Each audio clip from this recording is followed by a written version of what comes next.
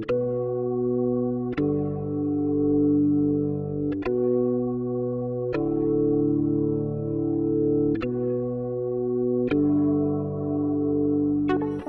name is Marc Cairns and I am an architectural designer, producer and gallerist based in Glasgow.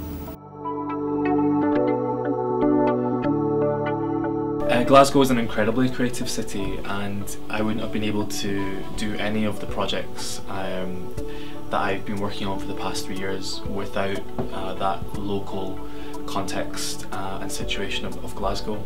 Um, there's the, the city is just bubbling with so many uh, exciting, new, uh, innovative and inspiring creative practitioners in, in visual arts, uh, music, design, fashion, in, all varieties of, of, of, creative creative work. And it's fantastic to work in a city where there's really established and renowned uh, international creative practitioners who are, are really willing uh, to, to help nurture and develop um, this this massive pool of, of young uh, creative talent that we have in the city. So I think Glasgow is a fantastically unique and incredibly friendly place to practice any form of, of creative talent.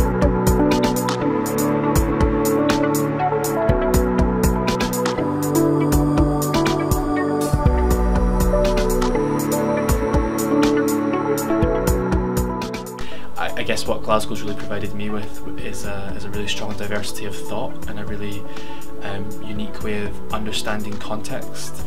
You know, from growing up in the kind of uh, east end of Glasgow, like going to see my granny every weekend and and just knowing how, how she thinks. Um, and then you know, growing up uh, in the city centre as a teenager and, and, engaging with a really vibrant arts and music scene. But uh, I guess, yeah, it's really just really influenced and given me a really wide um, way of thinking.